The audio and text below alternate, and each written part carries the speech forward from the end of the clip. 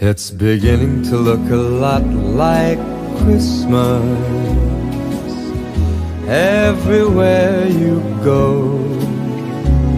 Take a look at the five and ten